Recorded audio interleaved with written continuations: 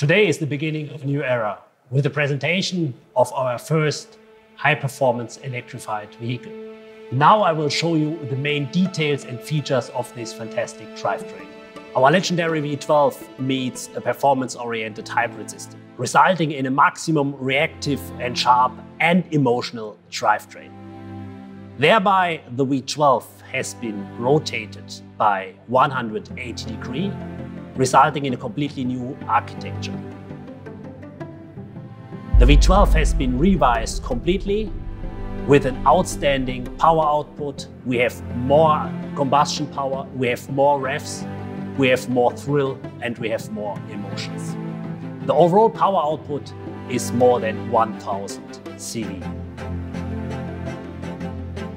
For the first time, we have used a transversal 8-speed dual-clutch gearbox. This gives us a completely new architecture. The gearbox is assembled transversely. This allows us a perfect weight distribution, a very compact architecture, incorporating also an electric motor. This electric motor has three main functions. First of all, it starts the V12 engine. Secondly, it's also able to recharge the battery if needed. And Last but not least, it's also delivering additional torque in the case of maximal acceleration and also improving the shifting. So you have seen that this drivetrain is really very, very emotional, very exciting. But I can tell you also the other components are very exciting, so stay tuned.